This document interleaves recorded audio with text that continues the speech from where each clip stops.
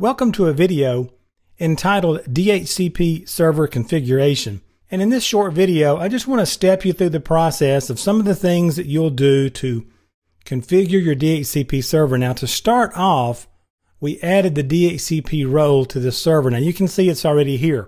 I didn't want you to have to watch this thing click and hum. So the first thing I did is I came in, I added roles and features uh, to this server.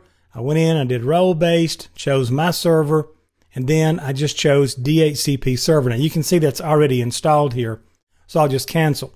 Now once it installed and it said it completely configured, I had a little one up here by my notifications. And anytime you click on that, you will see what needs to be taken care of. And it said that I needed to complete the configuration on my DHCP server. And I clicked on the link and it set my security permissions up the way they needed to be.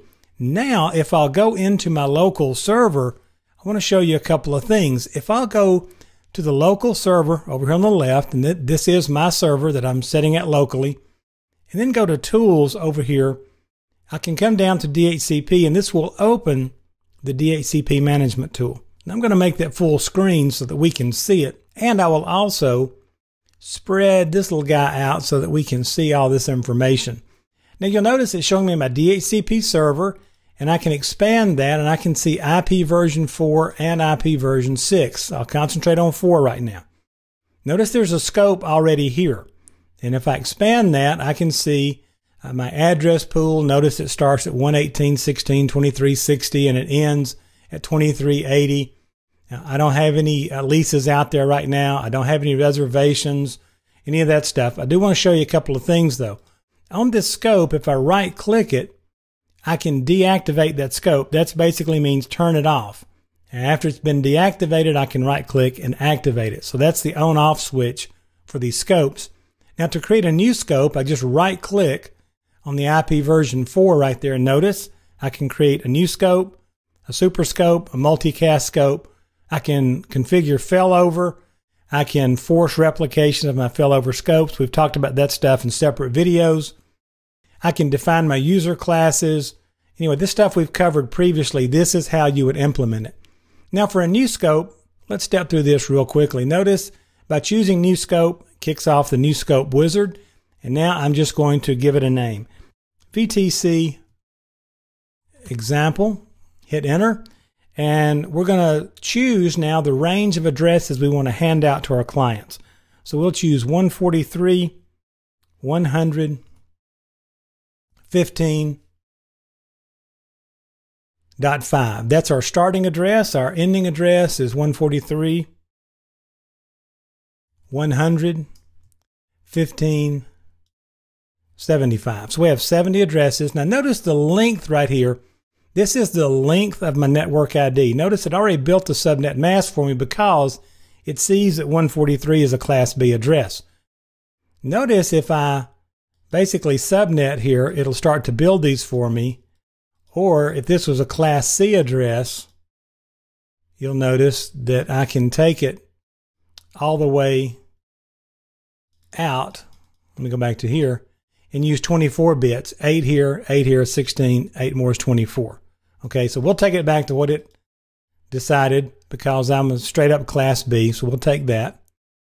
And then I can add exclusions. And if I say, you know what, there's some in here I don't want you to use, I can put those in here and I'll skip that for now.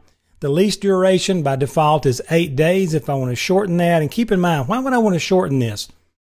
Well, if I have a lot of mobile clients who connect and they have that IP address for maybe an hour or two and then they disconnect, I can drop this down considerably so that I'm saving IP addresses. I can use more IP addresses and share the same IP address out to multiple connecting mobile clients. Or if I have enough IP addresses to go around, it's not a problem. I can just leave it on eight days.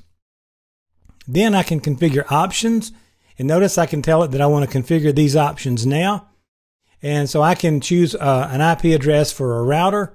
And let me go back because I'm running my mouth and I can't remember. 143, 115. There we go.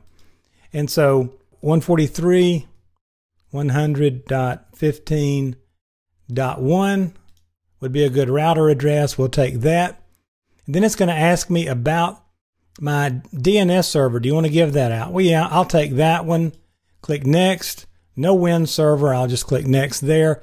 And do I want to activate the scope? Yes, I'll hit next and I'll finish. And there is my VTC example scope. And notice I can expand it. I can right click and see that it's activated. I can deactivate it if I would like. And while I'm here, let me show you one other thing that could come up on the exam you need to be familiar with. And that is if I right click on the server level, I can unauthorize this server in Active Directory. Now, by authorizing it, I've told it that it's okay. It can be a part of Active Directory.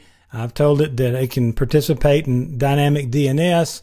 So that's the way to authorize or deauthorize in Active Directory. Notice everything else here, address pool, address leases, reservations, scope options. Notice I'm passing out router information, DNS server, and DNS domain name. And I can go in here and configure options and add even more of those. Notice I can do name servers, time server, whatever I would like. So that's a real quick look at how you're going to manage and configure your DHCP server.